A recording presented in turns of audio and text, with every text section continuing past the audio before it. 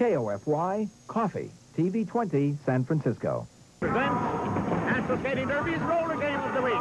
From the Olympic Auditorium at Los Angeles, California, we're bringing you Roller Game of the Week. Today's game, the Los Angeles Thunderbirds and the Philadelphia Warriors.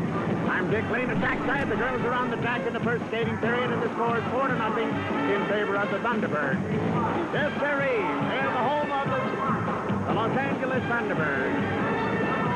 To. We got good news. Judy Sowinski is back in a Thunderbird uniform. But it seems Jess Adams has been uh, wooing her pretty strong, trying to get her to change.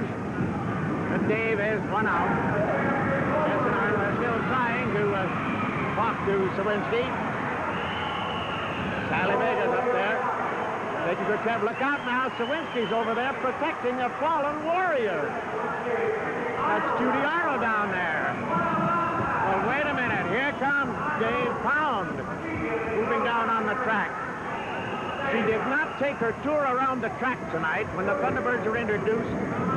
Judy just stood in the infield and did not move around the track. Huh. Well, that's kind of unusual.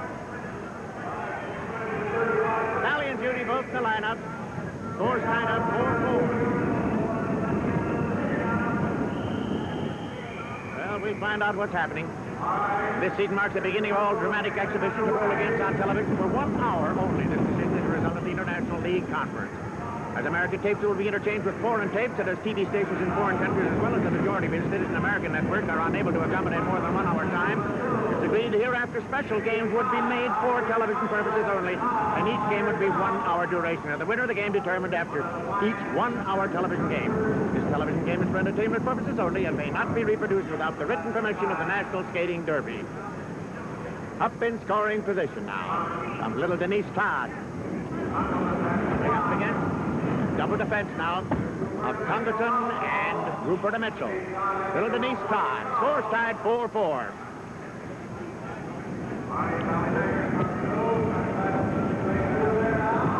Sally Vegas. Yes, Sowinski's in the lineup. She picked one off. It's hard to believe. The little one got in. Arnold got in to the fence and picks off little Denise Todd. Four. Four T-Bird points, and they take a lead of eight to four now. And here we go. Look at Sowinski. Oh, ah, come on. Well, there it is. There it is. Ha, ha, ha. Well, that's the way it goes now. It looks like Jess has finally done it. How about that? Well, Dave's not going to stand by and see that happen. Naturally, he's got to discipline her. As long as she's wearing that uniform, she better skate like a Thunderbird. I don't blame Dave for that. He sent her on a bench. And she refuses to go to the bench. Huh. How about that? Well, yes, sirree. Dave Pound down there, he is burning up. He goes over and he questions Judy again, and Judy just looks away. Well, Jess and Judy Arnold, Jess Adams and Judy Arnold have been working on her pretty good all week long. Here we go now.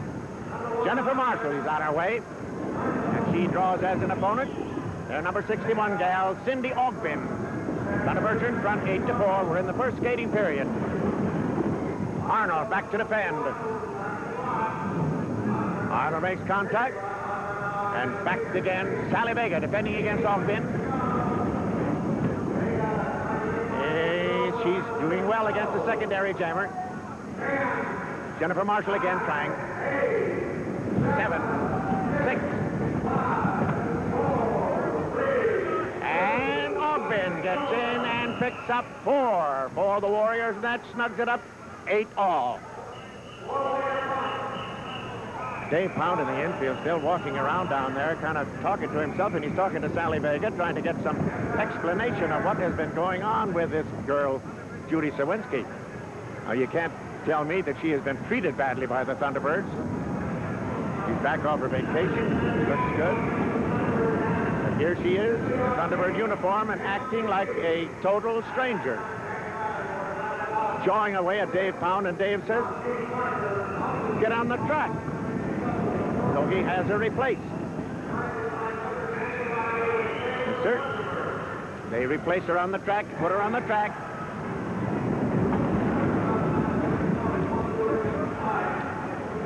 They put her in the lineup and took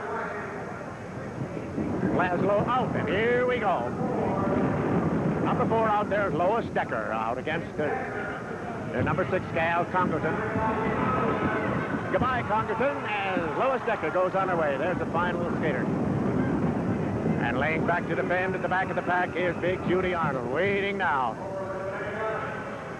She shouted something at Dave Pound as she went by. I, I wish we had a microphone down there. We picked up some pretty strong language sometimes. Decker comes again and again is bounced. And again she's down. Sowinski's in the pack, but she's doing nothing to get back to assist her jammer.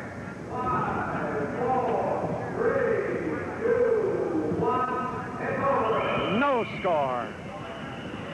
Well, look out now.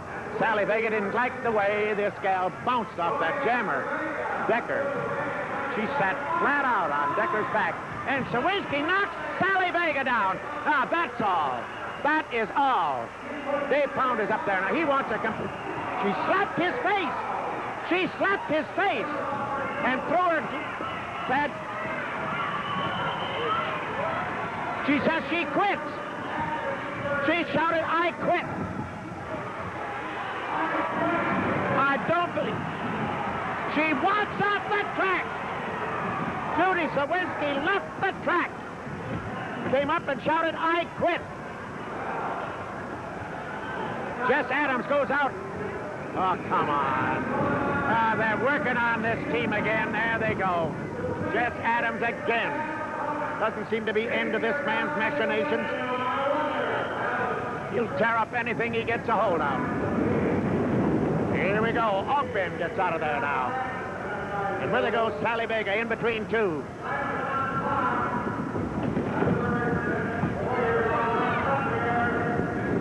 Earlene Brown, she is screaming. And, oh, and I don't blame her. I don't blame the Thunderbirds one bit. They've done a world of good for this gal. Vega's out of the pack late. She's out against two. Laszlo defending well at the back of the pack. Keeping Arnold up in the pack. She's in there. She's the leading jammer, and she's in now for three good ones. Vega got in and got three. With a beautiful assist in there from Margie Laszlo, number six. Laszlo, number six. Beautiful assist in there. That ends the period. And as the period ends, we'll get an official score. Thunderbirds in front, 11 to 8. That's the way it should be. We'll be right back to the men in a moment. Hang in there. Back to the action. The men on the track,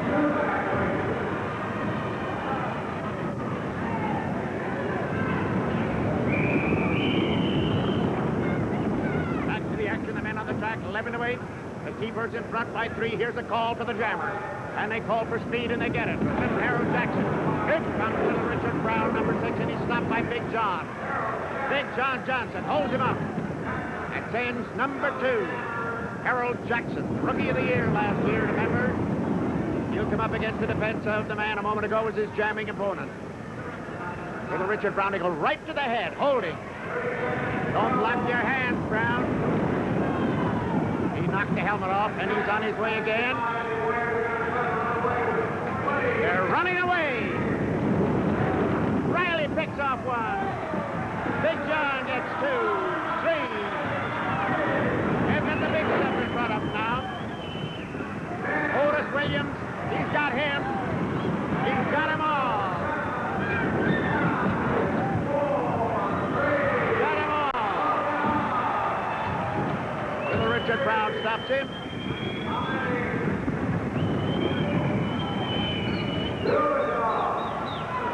Two, two only. I don't believe it. Two, two only.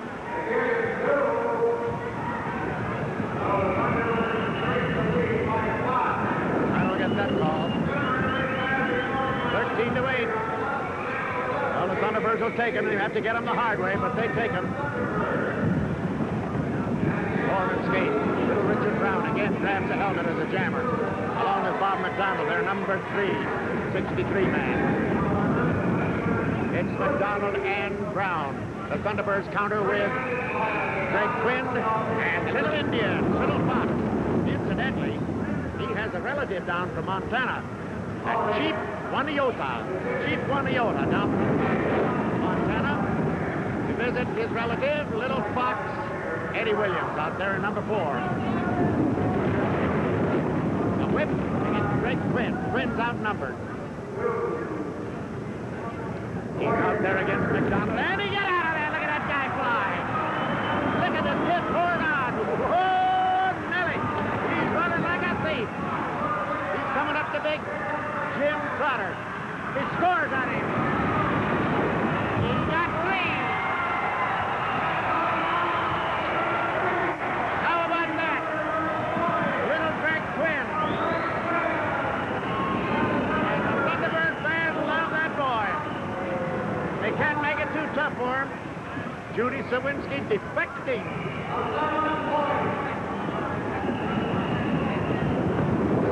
Doesn't mean a thing. The Thunderbirds come right back. Thunderbirds now with a good 11-point cushion, 19 to 8.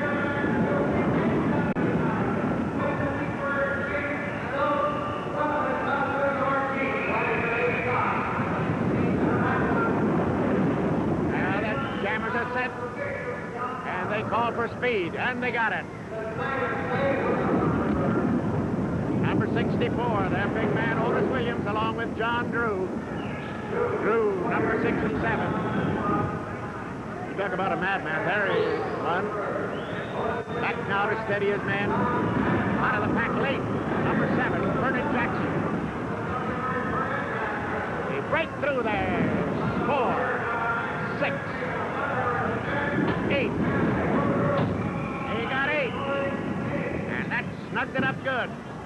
19 to 11.